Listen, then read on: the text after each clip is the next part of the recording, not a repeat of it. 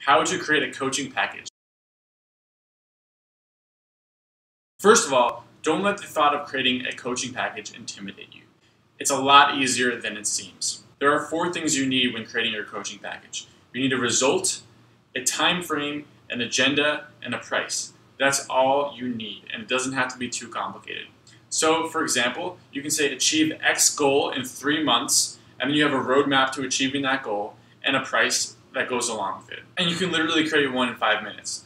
That being said, the result is the most important thing. So make sure that the package you get, you have the ability to, to achieve those results for clients um, so that you can genuinely offer them a, a good price and achieve results for them. And if you're just starting out, you don't even need to think about price. You can just offer your package to, to people for free so you can build up some testimonials and start testing out your package to make sure that it works.